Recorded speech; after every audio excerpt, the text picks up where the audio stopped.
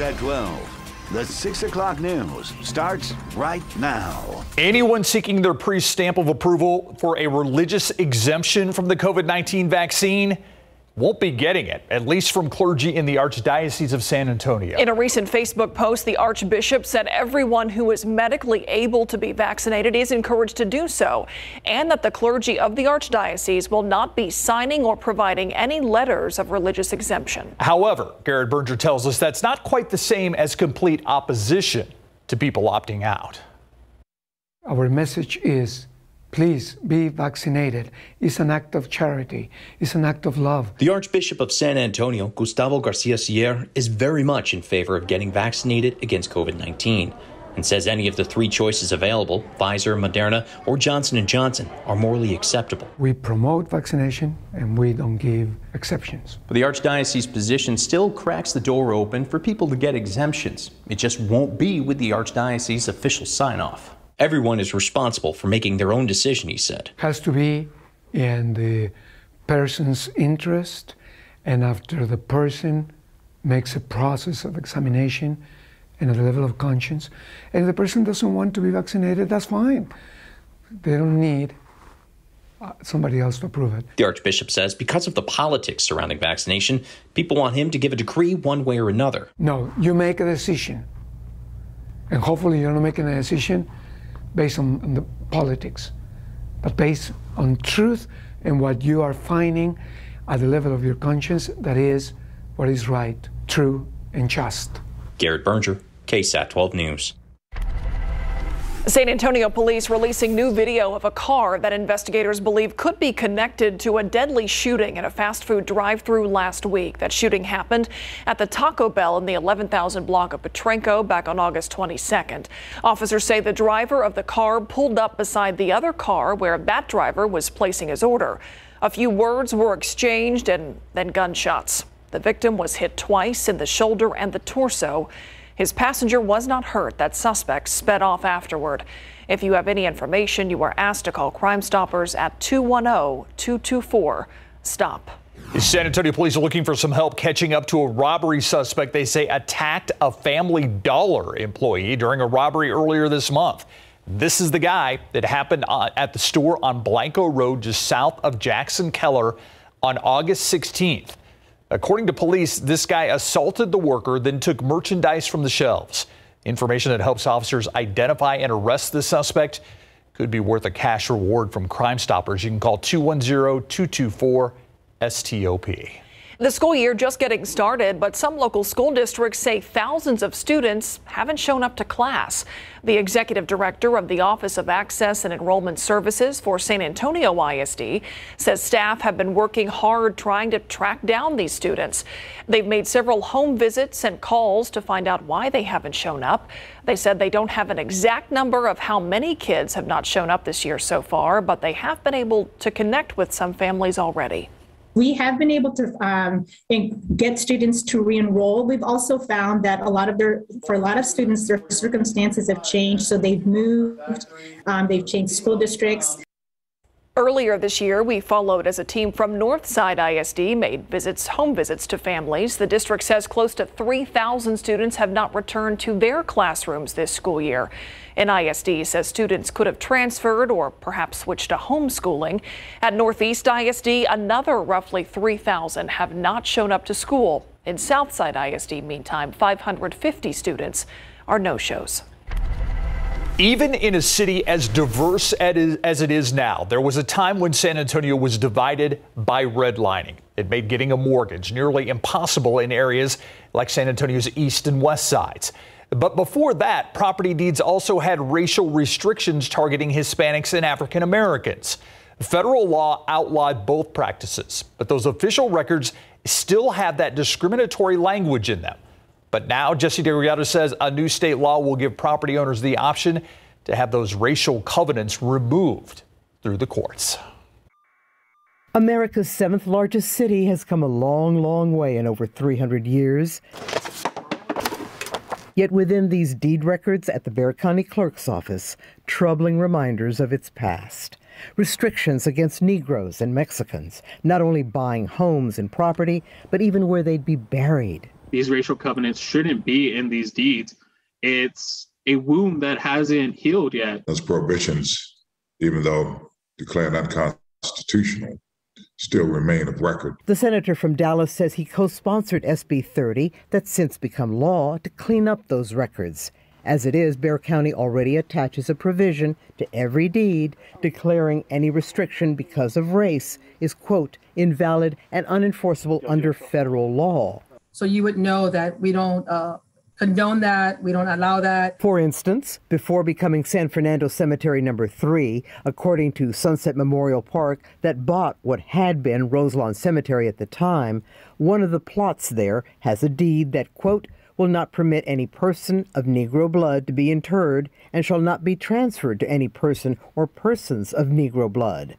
Many deeds of homes in gentrified neighborhoods also have similar discriminatory language. There's been reports where people are shocked that they find these deeds when they purchase the house. You cannot just file directly with the county clerk and expect it to be removed. First, she says it would take a district judge ordering the racial restrictions be removed. It's a chipping away of the symbolic expressions of racism in the country. Jesse Degollado, KSAT 12 News. Now, there was an important detail left out of the legislation. How will county clerks physically remove the discriminatory language from these old documents without damaging them? The Bexar County clerk says she and other county clerks hope to get clarification this week during a training session on Wednesday when the law goes into effect. Connecting LGBTQ youth experiencing homelessness with the resources they need to thrive. That is the mission of the Thrive Youth Center here in San Antonio. Through partnerships with local organizations and community outreach, the Thrive Center has helped get hundreds of youth off the streets. And even though this last year and a half has been challenging to connect with people, they are still making an impact. Priscilla Karaman talks with the founder of the organization, a member of the team, and a woman who is now thriving thanks to their help. Everybody has their own little story when it comes to coming out. So I didn't really come out. Uh, I got caught kissing girls, and uh, that was a a bad thing. Even in 2021, Sandra Whitley says coming out is one of the leading reasons youth become homeless. At the age of 13, Whitley was sent away by her parents. She says not being accepted for who she was made her angry. I knew, you know, what it felt like to be totally alone. LGBTQ plus youth represent as much as 40% of the homeless youth population, according to the advocacy group The Trevor Project. Whitley founded the Thrive Youth Center in 2015. They continue to offer assistance through street outreach. There's some people that are like, I just want socks and shoes and I'm good to go. Andrea Cantu, who is part of the outreach team, says help starts with a simple conversation. And I say, hey, what's going on? Like, do you, do you want some water, especially right now with, with uh, this summer heat? Cantu says sometimes people are ready and willing to take their help, like Natalie Salazar.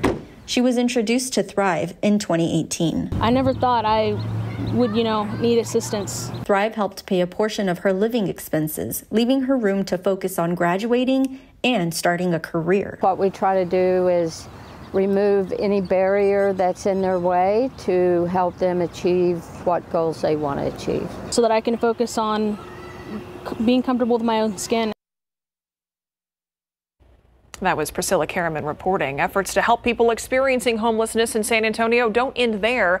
There are several organizations committed to that very mission. That is part of the focus of our new episode of KSAT Explains out tomorrow. We're following along with outreach workers on San Antonio streets while examining the issue of homeless encampments, especially after a statewide ban on those encampments was passed. We dive into who is being helped and how, plus what policies are in place that in some cases can do more harm than good. KSAT explains homeless encampments drops tomorrow. August 31st. You can watch it on the KSAT TV app, available any way you stream or on our website, ksat.com slash explains. Live cam at 608 and you can see some clouds are still out there, but nothing that we think is going to produce any more rain. Not over the Alamo City. Uh, some other parts of our area are seeing a few isolated pop up showers, but I think our opportunity has passed at least for the day around town. We picked up three hundredths of an inch at the airport. But other parts of San Antonio got a lot more rainfall than that. So if you take a look at the map here, the rainfall estimates, and you see all these little blue and green colors on the map, that's where we actually had rain today. You focus in on the northern portion of San Antonio, Shavano Park over an inch. You get into parts of Stone Oak about a quarter of an inch, closer to Fair Oaks Ranch, about 15 hundredths of an inch, but the real bullseye was right up I 10. And uh, just north of the rim in the Dominion, Leon Springs area, that's where we got a couple of inches of rainfall today. Tonight, a few lingering showers out there just through about 8 o'clock. Then we'll clear, calm wind, temperatures eventually falling down into the mid 70s by tomorrow morning. We'll talk about the remnants of Ida, how the rainfall hit certain parts of our aquifer and area. We'll talk about that and more opportunities for rain coming up. COVID 19 infections hitting hospitals in rural communities hard. The latest challenges on the night beat. A local business owner is dealing with the impact of another disastrous hurricane after it hit the place he was born and raised. We're talking New Orleans. He shares how his family just recently evacuated because of Hurricane Ida and how he plans to give back to those dealing with the storm's aftermath. It is back to class for students in Northeast ISD, and some of those students working to remind people about safe driving habits like awareness in school zones. Our Samuel King joins us now. And Samuel, they're part of the Safe Driving Club at Johnson High School. And that's right, Steve and Myra. They say their message is especially important in the first few weeks of school as people are getting used to those school routines and teens getting used to being behind the wheel. I am going to get my license in September. I have my permit right now. Julia Varkes is just one of the many teens learning to drive, causing their parents a lot of worry. There's like high schoolers, it's very easy for us to get distracted and think that we're good enough drivers to go on our phone when that's not the case for anybody. Even before Varkes got behind the wheel, she got involved with the Johnson High School PTSA Safe Driving Club. She's now the president. It was founded back in 2012, and Melinda Cox is still the sponsor today. I wanted the children, the kids, the students of Johnson High School to have a chance to be advocates, to be empowered voices, and to say, hey, you know what, I'm new to this game and I deserve to be able to be safe on the road. They spread their messages through signs, billboards, and speaking with public officials, recently pushing to have safe driving stickers included in all new driver packets in Texas. Anna Mae Quadrado comes up with much of the art for the club. She feels talking one on one to other students and her swimming teammates is just as important. It's sort of scary to know that kids my age are driving all around. Um, but I like to spread the message to my teammates and coaches and such, um, just to make sure that they're being safe as well. Very important. Cox says school and district administrators have been very supportive of the students and their message. Her advice for other schools considering such a club, let the students be the guides. After all, they're the ones who are most in touch with their peers. Maybe some teens or parents or other folks on the roads this evening. This is 280 Run at San Pedro. Not too far from there, we are seeing uh, some uh, issues there. Not too bad right now, let's head over to the wall and take a closer look at the maps here. I had a crash here earlier uh, at 281 and 410. Had is cleared, but we are seeing some issues a little bit to the west of there, so watch out for that. Maybe you're in the Johnson High School area this evening, uh, north of 1604, eight to nine minutes. Things getting a little better. And a reminder, those HOV lanes are open in both directions north of 1604. That can be an alternative for you when things are a little bit busy and you have someone else in a car.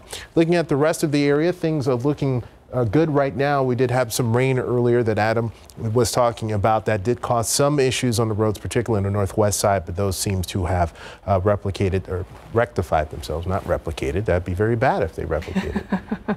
Um, 18 minutes westbound on 281 to Bandera Road on 1604 right now. That's a lot better than it was about half an hour ago. 14 minutes uh, heading eastbound. So things improving like they typically do on a Monday evening as people heading to from school, commute, anything you want. Things look okay right now, but we'll keep an eye on it throughout the evening, guys.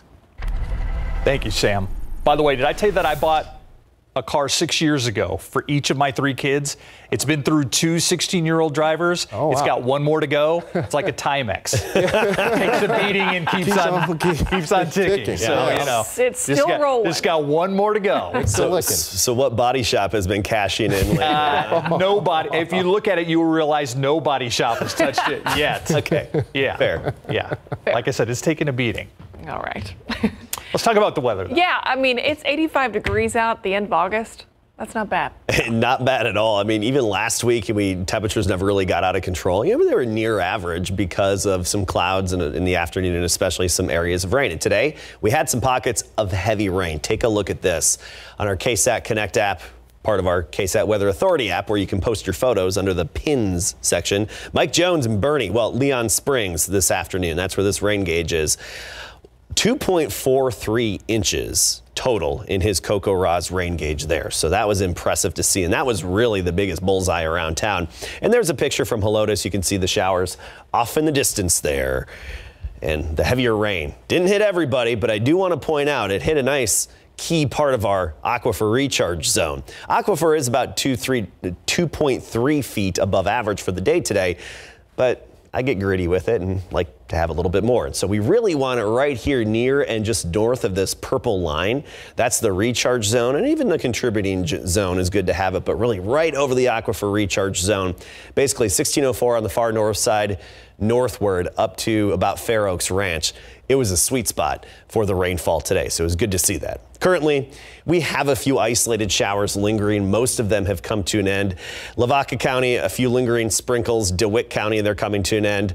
You go westward and even south of San Antonio, Pleasanton, few isolated little quick splash and dash showers. I think you'd be lucky to even squeeze a quarter of an inch out of those. They'll be brief.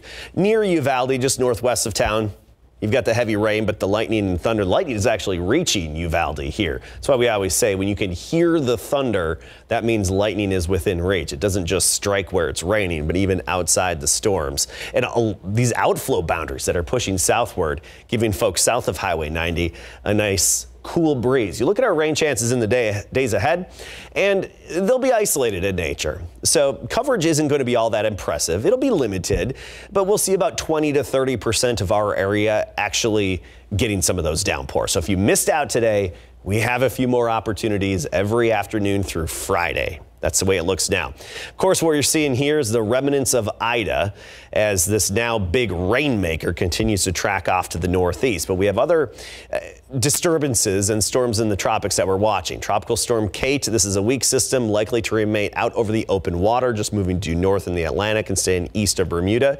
And then what's likely to become our next tropical cyclone is this wave of energy coming off of Africa, soon to likely turn into a tropical cyclone. And remember, the peak of the Atlantic hurricane season is September 10th. So we are approaching peak and we have a lot of activity out there. And then this little area in the Western Caribbean just needs to be monitored in the longer term for potential development. Nothing to worry about now, just something we'll keep a close eye on. 86 currently, feels like 96 though. That's because of that mugginess. Dew point of 76. It is sticky outside. Look at the temperatures though. You can see what parts of Texas Texas have had some rain. I always love just looking at the temperature map and then looking at the radar thereafter. Marfa 75, Junction 77. So you can see where we've had some of the rain cool there. 91 meanwhile in Hondo, 97 Carrizo Springs. Not everybody's getting that cooler air from those showers. Tomorrow we'll start the day at 77, make it up to 96 for the high temperature, and a few hit or miss showers and thunderstorms briefly in the afternoon, and then we do that every afternoon thereafter. Tomorrow, closer to 100 west and southwest of town. Leon Springs about 94, 94 Timberwood Park. Meanwhile, Elmendorf topping out at 98 tomorrow afternoon. More of the same the rest of this week. By the weekend, right now it's just looking sunny and, well, mid to upper 90s. Okay, thank you, Adam. All right, the Longhorns knew coming into this year that they would need a new quarterback. The question was, which one would start, Greg? Yeah, and word leaked out over the weekend, confirmed today by head coach Steve Sarkisian, who will be their number one quarterback when they face Louisiana this Saturday in their season opener. When we come back, we will let you know who that is. And DeMarvin Leal, the former Judson standout player, now Aggie, not shy about bragging on his D line when we come back.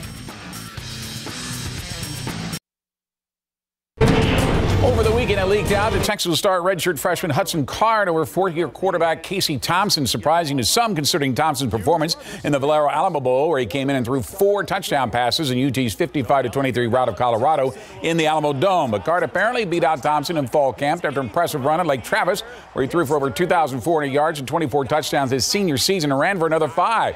His head coach Steve Sarkisian worried that the quarterback that doesn't start will enter the transfer portal?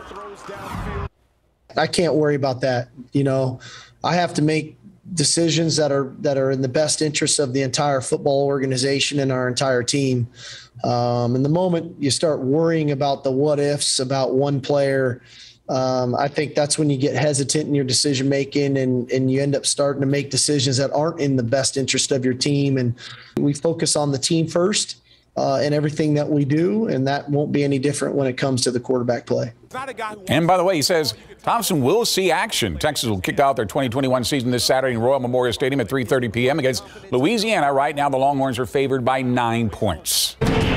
Up in Aggie land, a little less of a surprise after head coach Jimbo Fisher announced that Haynes King beat out sophomore Zach Calzada to be the new starting quarterback for the fighting Texas Aggies. King was Kellen Mond's backup last year, but due to Mond's success, didn't see much playing time. He did, however, lead his high school Longview to his first state cha- championship in 2018, with 4,500 total yards on offense during his high school career, with 42 touchdowns, another eight on the ground. But when the Aggies kick off their season this Saturday against Kent State, they're going to rely heavily on their defense, anchored by former Judson standout DeMarvin Leal, who's not shy about bragging on his D line. This year we have um, basically the same guys besides Bobby Brown. So we have McKinley Jackson, Michael Clemons, uh, Darius Jones, Jayden Peevy. Even got new guys coming in, the new guys that came in, Shemar Turner, to me say, um, man, it, the experience that we have and the size is, is unmatched.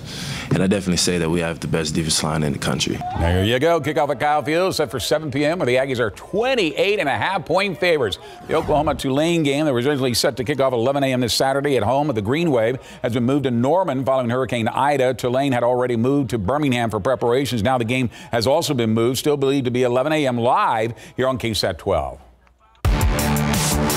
The big game and our big game coverage this Friday night will feature number three Steele against number four Reagan at Lehnhoff Stadium. That's after the Steele Knights manhandled Pflugerville Hendrickson in their season opener, 35 to 14 at Lehnhoff last Friday night. While the Reagan Rattlers, who dropped from number two in 12's top 12 to number four this week after losing their season opener to the number one ranked Brennan Bears, 35-14. Now the two collide before opening district play next week for Reagan.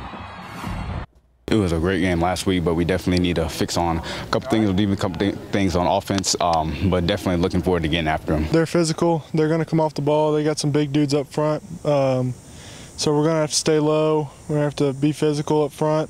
And we're definitely, it's definitely going to be a fight in the trenches. We definitely go into the game trying to play our brand of football. Um, instruction from our coaches. We should, I think we should be fine.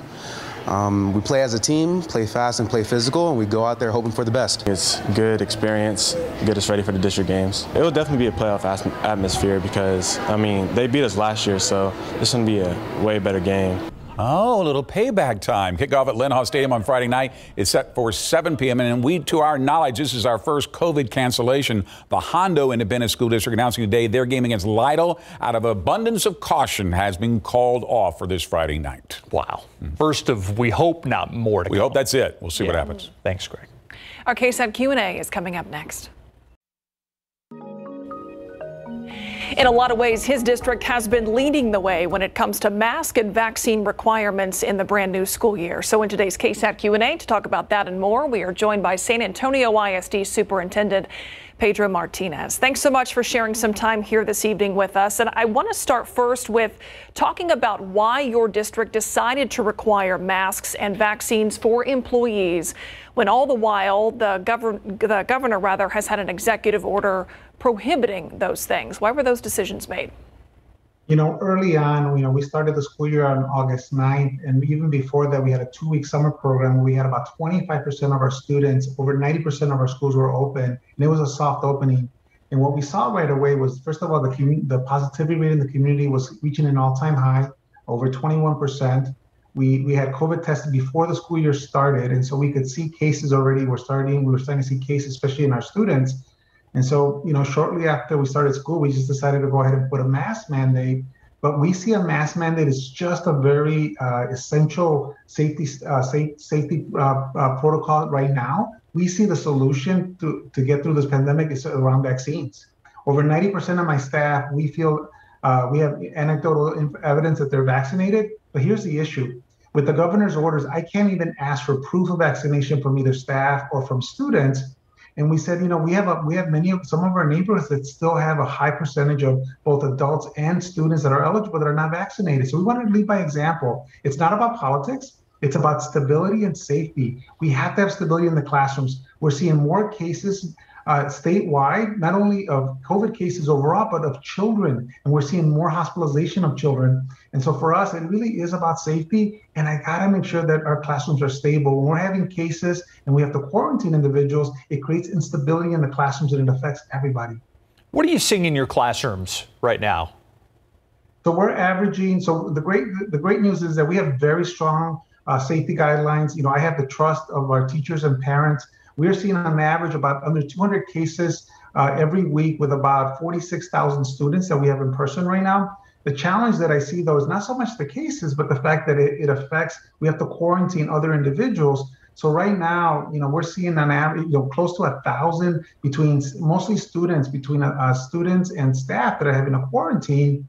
And for us, by the way, when you look at other districts that are open, we're actually doing much better than other districts but it is really a function of what's happening in the community because cases are still very high. And one of the things that we're seeing is that most of the cases are from unvaccinated individuals. And, for us, that is the fear we have since so many of our children are still not eligible for vaccines.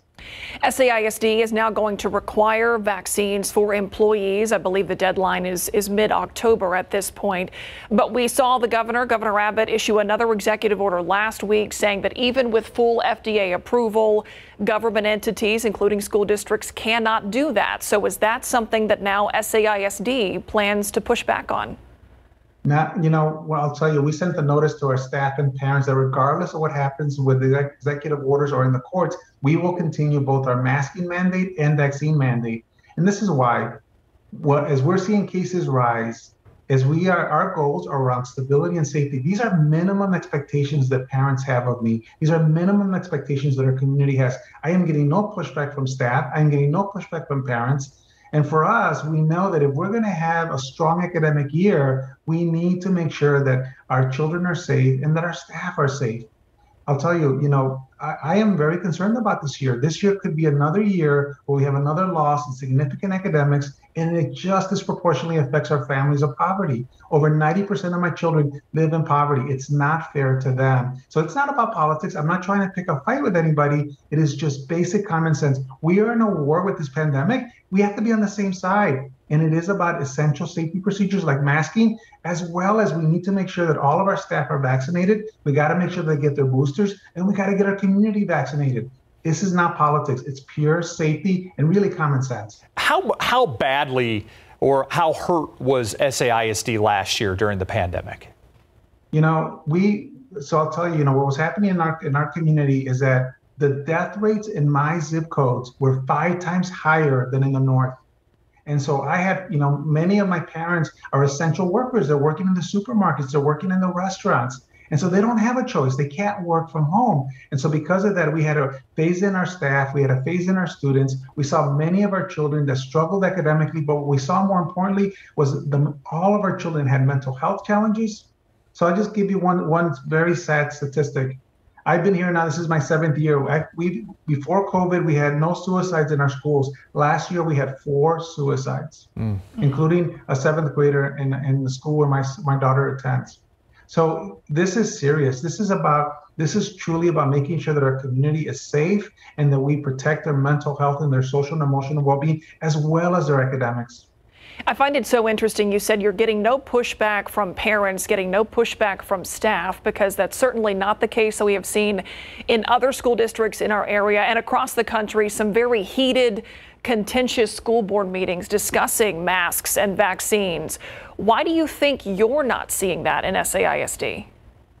Because we, we spent the time last year building the trust and relationships you know we have many uh, much evidence whether it's survey data other just just just things that we've gathered that shows that our parents and teachers have never had better communication Uh, the parents and the relationships with their schools have never been better, has never been stronger. Our parents and teachers, over with over 90% support, uh, approved adding 30 additional instructional days to our calendar. The summer program that we had was was the largest we've ever had for two weeks. Over 90% of the parents said that it, it met or exceeded their expectations. Over 70% said it far exceeded their expectations. And we saw the same with our teachers. And so we are in sync with our community. And that's why for me, you know, it was, it's disappointing, frankly, to have to be distracted by the politics because again, I know my community and I know what my community expects of me. And that's what we're trying to deliver. I know there's a lot going on COVID wise and, and, you know, like you said, being distracted by the politics and things like that. Before we let you go, there are talks out there that you may be one of the favorites for the job at the Chicago Independent School District. How are you dealing with those rumors, and is there any truth to those rumors? So, you know, Chicago is my hometown. Uh, and so it, it is an opportunity that my wife and I decided that we just at least needed to explore. It's still very early. But I'll tell you, I am excited about the work we're doing in San Antonio. I'm excited about how we're partnering with the community and all the amazing gains we made here in San Antonio. So my wife and I said that we're going to allow the process to play out. But I'll tell you, uh, I am proud of what we're doing here in San Antonio, and I am going to make sure that our district continues to be safe. We have an amazing board and I have an amazing team. SAISD Superintendent Pedro Martinez, thanks for being here tonight. Thank you for having me. Take care. We'll be right back.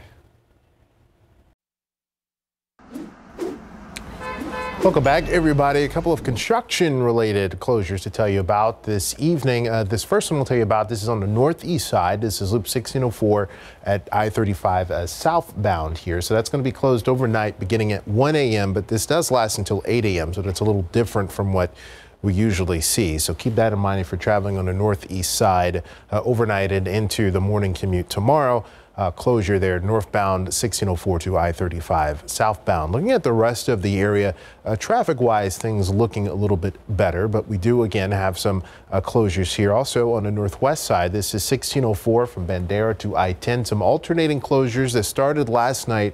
This is going to run from 9 p.m. to 5 a.m. through September 10th as part of that major project we've been telling you about here on the northwest side between I-10 and Bandera Road. Looking at that right now, uh, can't doesn't get much better than this. 11 minutes eastbound Bandera to 281, uh, 13 minutes heading the other way. So uh, things looking good right now, but expect there will be some more delays in a couple of hours here as that closure does ramp up. In the green, we usually don't see that.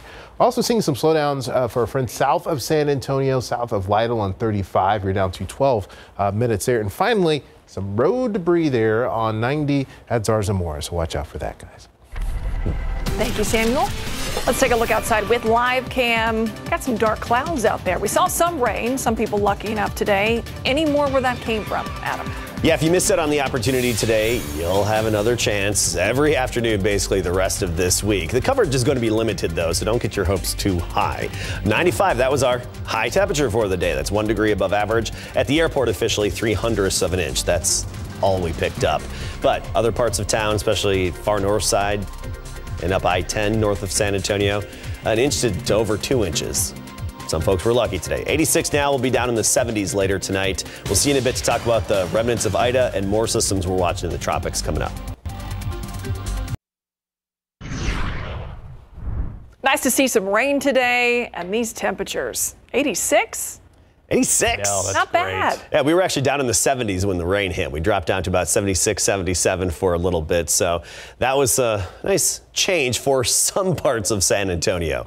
That was particularly the north side of town and even at the airport. But uh, Stinson and south side, you didn't get that break, unfortunately, but there are more opportunities. Let's take a look at the radar and what we actually have out there, which really isn't much. Uh, it's just highly isolated. Coverage is limited, and even those brief downpours we were looking at earlier near Pleasanton have really come to an end. They've rained themselves out. And northwest of Uvalde, that downpour with a little bit of lightning and thunder is starting to rain itself out, but it has kicked out some outflow boundaries pushing south. That'll give some folks south of Highway 90 a cool breeze. All right, looking ahead here, the rest of the state, we had some areas of showers, and it's going to be the same basically every afternoon the rest of this week. We'll have a few Widely separated showers and thunderstorms dotting the landscape during the afternoon hours. What really stands out here, of course, is the big swirl moving over Jackson, Mississippi, and heavy rainfall associated with the thunderstorms. That's the remnants of Hurricane Ida that continues to track to the north and then steer off to the northeast. Now it's turned into a big rainmaker. So flash flooding becomes the concern now as this moves northward up into the Appalachians and then curves to the east and northeast. But there's other uh, elements we're watching in the tropics. And first we have Tropical Storm Kate out in the central Atlantic, likely to stay over the open water, just pushing northward not really a concern. And then we also have this new tropical wave that's coming off of Africa, which is likely to turn into our next tropical cyclone. So that could even become our next hurricane that we need to keep a close eye on. Otherwise, just more long term. We'll keep an eye on the Western Caribbean here as there is the potential, a slight chance something may start to come together, you know, within the next five or more days. Otherwise, our rain chances around here are all just dependent on the pop up afternoon showers and thunderstorms. So every afternoon, about 20 to 30% of our area will get hit by some of those rogue brief downpours. But as we saw today, some of those downpours can leave one to two inches of rain in their wake. At the airport officially, 0.03. 95, that was our high temperature today. That's just one degree above average. The low 75, pretty close to average as well. So seasonable, and we're going to remain near average the rest of this week. But you notice the mugginess out there. Dew point of 76. It is very sticky. And of course, rainfall adds to that mugginess, which is good because it's nice to have soil moisture. You just feel the mugginess out there. So it's 86, but feels like it's 10 degrees warmer than the actual air temperature. Where we didn't get rainfall, uh, back up near 100, Cotulla 101, Laredo 101. 91 in Hondo, 90 in Gonzales, 94 Kenedy. And meanwhile, you look lo locally, Bulverde's 87 and Rio Medina right now at 89. Temperatures not outrageous for this time of year, and we don't expect them to get that way. Tomorrow will be about 96, 97 for the high temperature. We'll have a mixture of sun and clouds, some of those clouds bubbling up into a few brief downpours here and there in isolated locations by tomorrow afternoon.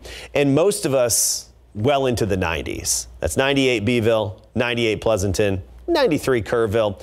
Uh, Helotes about 93, Converse 97 in Von Ormy, a high temperature of 96. And that's pretty much the same the rest of this week. So if you missed out on the rain today, we have a few more opportunities. Just don't get your hopes too high because the coverage will be uh, limited. And then the weekend, as of now, looking dry. All right. Thanks, Adam. In case you missed it, coming up next. Here's today's in case you missed it. We now know the name of a man killed in a wrong way crash yesterday morning on the city's north side. 24 year old Diego Soto was driving east in the westbound lanes of Loop 410 near Jackson Keller. This was Sunday morning around 2 a.m. That's where police say he crashed into a pickup truck head on. The driver of the pickup truck was taken to University Hospital in serious condition and Soto was pronounced dead there at the scene. A man killed in a fire on the city's south side yesterday identified as 67 year old Roger Fetty. Responders put the fire out quickly but found Fetty laying on the floor of that home. He died at the scene. The cause of that fire is still under investigation. The last U.S. evacuation plane has now left Afghanistan, marking the official end of America's 20 year war. Tonight's withdrawal signifies both the end of the military component of the evacuation, but also the end of the nearly 20 year mission that began in Afghanistan shortly after September 11, 2001. Right down to the final hours, the Pentagon says U.S. troops were under heavy security threats. Sunday night, U.S. forces using a missile defense system to intercept one of five rockets fired at the Kabul airport. Three other rockets landing off the airfield. Texas is sending help to Louisiana in the aftermath of Hurricane Ida. Governor Greg Abbott has sent a helicopter, 14 crew members, 30 fire engines, and more than 100 firefighters to assist with recovery efforts. In a statement, the governor said Texas is proud to support Louisiana and will never forget the kindness, generosity, and support offered by the people of Louisiana during, during Hurricane Harvey.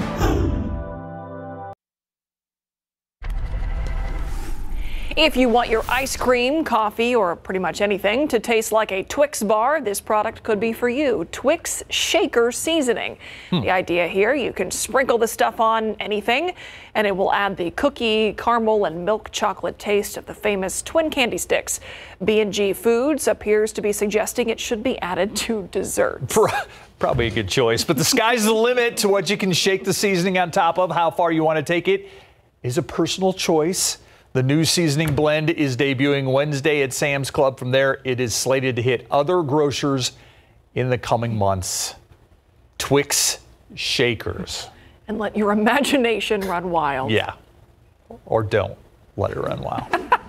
That's some of the best news all day. Yeah. I, I can't wait. I can't wait for, for that. Uh, things looking pretty good too on, on, the roads for now, but here's a reminder about some uh, closures or lane closures coming up tonight. Some alternating closures on Loop 410 on the east side between 35 and I-10. Let's take you over to the northwest side. Again, some lane closures tonight through September 10th from Bandera to I-10 on 1604. And just a reminder about this is I-10 in Frio. Things looking pretty good there, but also some road debris, Adam, on 90 at Zarzamora, so watch out for that. And tomorrow's going to be a lot like today. We'll make it into the 90s uh, again, average for this time of year. Boerne 93, New Braunfels about 97. Lackland area 97 and Converse 97 for the high. Some pop-up afternoon showers and thunderstorms isolated in nature all the way through Friday. Thanks, Adam. And thanks for watching the news at 6. See you back here on the Night Beat at 10. After the ultimate surfer, I'm intrigued by that.